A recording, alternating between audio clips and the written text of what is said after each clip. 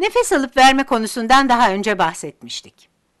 Her ikisi için önemli noktalardan birini hacim değişikliği olduğunu ifade etmiştim. Hacim artması ve hacim azalması. Fakat hacim değişikliğinin tam olarak nasıl gerçekleştiğini anlatmamıştım. O yüzden şimdi bundan bahsedeceğim. Göğsünüzün tam ortasında aşağı doğru uzanan büyük bir kemik var. Kemiğin nerede olduğunu görmeniz için biraz büyükçe çizdim. Elinizi koyarsanız kemiğinizi hissedersiniz. Buna da göğüs kemiği ya da sternum diyoruz. Bunu da şuraya yazayım. Sternum ortadaki kemiğin ismi ve bütün kaburgalar sternuma bağlı. Karşılıklı halde 12 çift kaburgamız var. Toplamda 24 kaburgamız var ve bunlardan 7'si çiftler halindedir. O yüzden 14 tane kaburga kemiğimiz bu sternuma doğrudan bağlıdır. Evet, kaburgaları beyaz renkle çizdim. Kaburgaların arasında da kaslar yer alır. Kasların bazılarını da şimdi çizeceğim. Bu kasların hepsinin kendisine ait kasılmalarını sağlayan sinirleri bulunur. Bu kaslar vücudunuz yani beyniniz tarafından yönetilir. Kasların ismi de interkostal kaslardır. Inter arasında demek. Kostal de kaburga kemiklerini ifade eder. Evet, kostal terimini duyduğunuzda kaburgalardan bahsettiğimizi biliyorsunuz artık. Kaburgaların arasında bu kaslar yer alır. Kaburgalar arası kaslar. Beynimiz nefes almak istiyorum komutunu verdiğinde de bu kaslar dışarı doğru hareket eder. Kaslar kasılır ve kaburga kemiklerimiz dışa doğru açılır. Dışa doğru hareket ederler. Ekranda biraz yer açmam gerekecek. Ayrıca bu tarafta bir kasımız daha var. Bu kas ters U harfine benzer bir yapıya sahiptir. Bu kası kubbe gibi çizeceğim. Aslında bunu kubbe gibi düşünebilirsiniz. Evet, bu kas aslında zemindir. Hatırlarsanız göğüs kafesinin zemin kısmından bahsetmiştik. Bu çizdiğimiz diyafram kasıdır. Diyafram kasımızı da böylelikle çizdik. Evet, bu kas kasıldığında dışa açılmak yerine aşağıya doğru hareket edecek. Yani bir nevi düzleşecek. Biraz bekleteceğim sizi. Bunu ekranda çizebilirim. Önce bu kubbe görünümlü kası sileyim ve kasılmış halini çizeyim. Kas kasıldığında daha düz görünümlü olacak. Ve gördüğünüz gibi düz diyafram önceki halinden daha aşağıda yer almaktadır. Aşağı doğru ilerledikçe de bu alanda yer alan tüm parçalar akciğerlerimiz, buraya çizmedim ama kalbimiz, hatta kalbimizi şöyle göstereyim. Evet, kalbimiz burada yer alıyor. Bütün bu organlar aşağıya doğru hareket ederler. Kalbimiz ve ciğerlerimiz aşağı ve dışarıya doğru uzanır. Yani fiziksel olarak aşağı ve dışa doğru hareket ederler.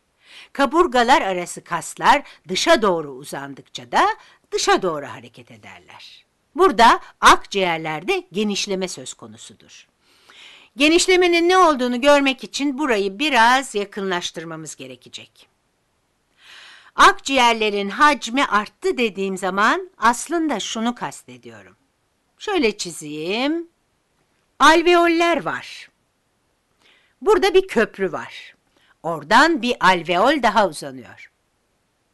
Evet, aslında tüm bu alveoller genişliyor. Vücudumuzda yaklaşık 500 milyon alveol var. Ne kadar büyük bir sayı. Alveol için müthiş bir sayı. Alveolleri çizecek olsaydım herhalde bitmek bilmezlerdi. Oo, bu kadar çok alveoli çizmek sonsuza kadar sürerdi. Neyse toparlayacak olursak olay şudur. Kaburgalar dışa doğru çıkınca diyafram aşağı doğru uzanır ve alveoller dışarı doğru çekilir. Dış tarafa doğru çekilmektedirler. Bu yüzden hacimlerinde artış olur. Yani biraz büyürler ve bu gördüğünüz hale alırlar. Biraz daha yakından bakacak olursak, alveollerin etrafında protein kümesi olduğunu görürüz. Etrafındaki hücrelerde proteinler vardır. Bu proteinin ismi de elastindir. Elastinin görevini belki tahmin edebilmişsinizdir. Elastik kelimesine benzer bir yazılışı var. Elastin, lastik banda benzer. O yüzden elastin bir bakıma bant gibidir diyebiliriz. Kaslar aşağı ve dışa doğru hareket edince, alveoller de açılınca biz de nefes alma işlemine geri dönelim. Ne oluyordu? Birkaç şey gerçekleşiyor. Öncelikle kasılan kaslar var. Kaslar kasılır. Kas derken diyaframın içinde bulunan interkostal kaslardan bahsettiğimi biliyorsunuz tabii. Kasların kasılması sonucunda alveoller de esner. Buradaki proteinler yani elastinler fiziksel olarak esner. Yani alveoller esneyerek genişler. Bundan sonra kaslar gevşediğinde yani nefes verdiğiniz zaman sizce elastine ne olacak? Dediğim gibi tıpkı lastik bant gibidir. Alveoller bu sefer geri çekilecek. Hacmin tekrar daralmasının arkasındaki sebep de budur. Elinizde bir demet lastik bant varsa. Bir dakika bir dakika bunu daha rahat görmeniz için ekranı biraz aşağı indireyim. Evet, alveolleri esnetmek için kaslarınızı kullanıyorsanız, kaslarınızı kasmayı bıraktığınız anda ne olacak? Bütün bu elastin molekülleri geri çekilecek. Bunu farklı bir renkle göstereyim. Bu şekilde geri çekilecekler. Bütün proteinler orijinal hallerini tekrar alacak. Geri çekildiklerinde bu yapı küçülür. Yani alveoller orijinal büyüklüğüne geri döner. Bundan çok daha küçük olan büyüklüğüne. Bunu size göstereyim. Kasılma organların açılmasını sağlayan işlem olmasına rağmen yapıları orijinal boyutlarına döndüren asıl eylem geri çekilmedir.